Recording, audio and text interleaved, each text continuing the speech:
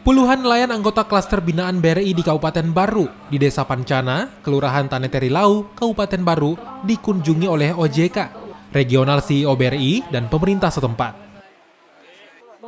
Dalam kegiatan ini, Bank BRI merealisasi kur senilai 1,3 miliar rupiah dan memberikan bantuan sarpras berupa mesin pemecah es dan mesin penarik rakam kepada para nelayan guna meningkatkan produksi kepiting yaitu menanam pohon untuk mewujudkan bumi yang baik yaitu supaya karbon oksidanya terserap termasuk emisi karbonnya.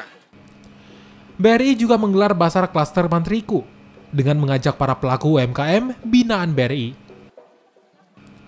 Ajang ini untuk mempromosikan produk mereka ke masyarakat luas.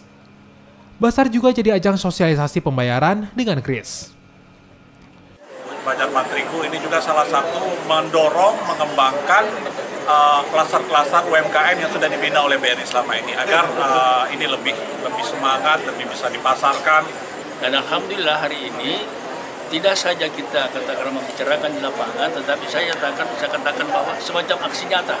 Ya kita ke lokasi dulu, lihat apa potensi di situ, apa masalah yang dihadapi oleh masyarakat. Produk UMKM terbukti bisa bertahan dan tetap berkembang di tengah sulitnya ekonomi saat pandemi COVID-19.